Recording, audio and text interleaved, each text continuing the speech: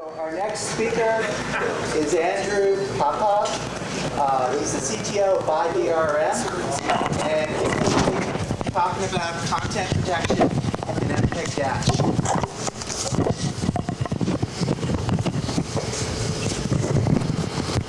Hello, okay. Hello everyone. So, um, quick introduction. Uh, well, first, quick thank you uh, to Alex and Ali to putting all this event together and bring all the great minds in one room to share the knowledge. So I'm very encouraged and it's a great opportunity for learning. So uh, we will talk about the DRM. and the DRM, I will say, is no longer four word. Uh, you know, for no, no longer four-letter word. Uh, it has been improved dramatically over the time, uh, and I would say, um, you know, with the great adoption in the industry and improvements uh, and deployments on the different client sides, uh, bringing the DRM to the native, native support native platforms natively. Um, end users doesn't even notice that they're playing the DRM content. So it's, it's quite remarkable today. Uh, and it's also essential puzzle uh, in the whole ecosystem and infrastructure for the studios uh, to deliver the valuable assets to the end users. And now, as when we speak about the HDR and UHD content, it's also very essential. So how that all relates to the Dash and what Dash does and uh, what is the standards there. So let's uh, uh, deep dive into that. So uh, Dash IF uh, do not intend to specify full end-to-end -end DRM system, rather to provide framework for multiple DRMs to protect Dash content with a single common uh, key. Um, that's a very important aspect. So today uh, we can use single key encrypt content once and then distribute it to the multiple uh, platforms which are DRM specific. So uh, common encryption standard, uh, on the other hand, specifies uh, how you need to encrypt content specifically. In the Dash IF, we specify protection system specific information and the information which you need to place in the MPD, the manifest.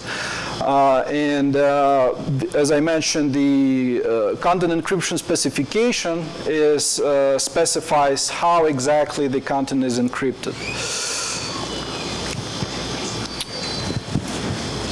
So Common encryption specify the, uh, the NAL structure video uh, and encrypting the content with the AES uh, 128 CTR mode.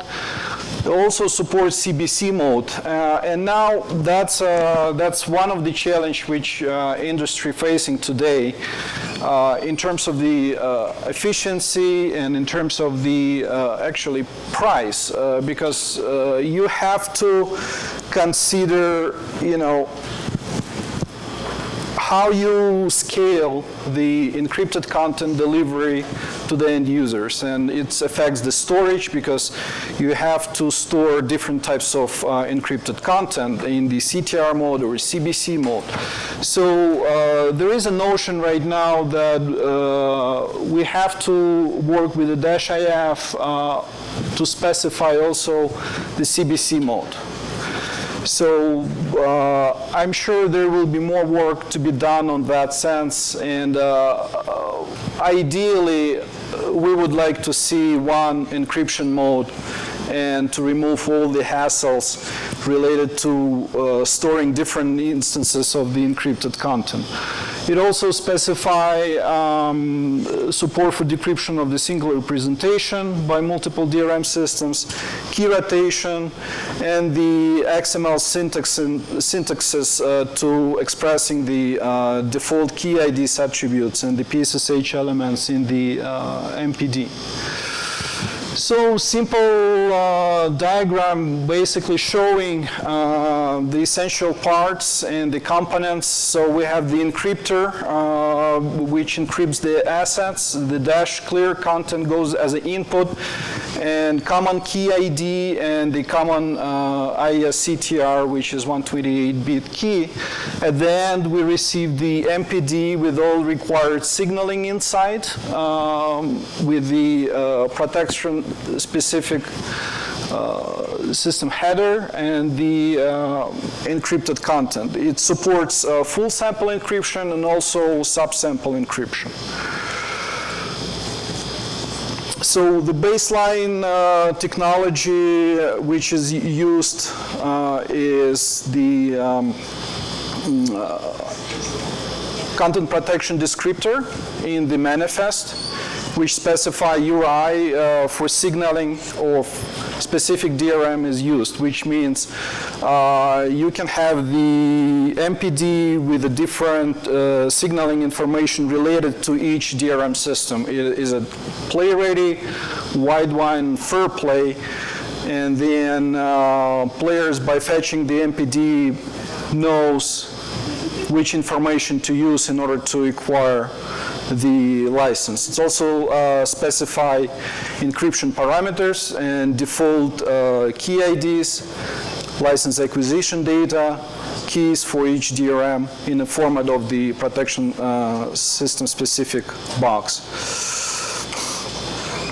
Uh, there is also um, a working group which uh, works with the uh, content protection uh, information exchange format, and uh, that allows multiple entities in the in the ecosystem to exchange the DRM keys, which are required to protect the content. Now, the content protection information exchange format uh, basically document containing the keys and DRM information um, and uh, also provides the secure way how to exchange this information. Make sure it's all encrypted and authenticated where each entity can receive the required information while they processing the content. Um, some high-level uh, information flow and uh, which uh, talks about how to acquire the DRM license. So the player basically received the MPD, which is manifest, uh, do the verification of the system ID, which means uh, it checks which DRM does it support, takes the initialization segment with the default key IDs, contact the license server, providing all the required information to the license server, to the specific license server, Play Ready Widevine or FairPlay, return the license response back to the player. Now the DRM client, uh, this is just an abstraction. It could be uh, run on the natively or the CDM or uh, in other ways that the entity responsible for actually uh, receiving the license and decrypting the content. Uh, today, for example, can be done in the trusted execution environment, speci specifically important for the UHD content. So all that uh, key decryption and the uh, sample decryption can be uh, run in the trusted execution environment and then provided through the secure pipeline back to the player to decode the samples. So if we're talking about the uh, MPD, um, so the MPD contains the signaling of the content uh, encryption and key management methods used to help the uh, receiving client uh, to determine if it can possible to play back the content. So the MPD elements uh, to be used uh, are the content de decryption elements, as I mentioned, it specify uh, which specifically the DRM is used, and it used the uh, proprietary protection system specific header box.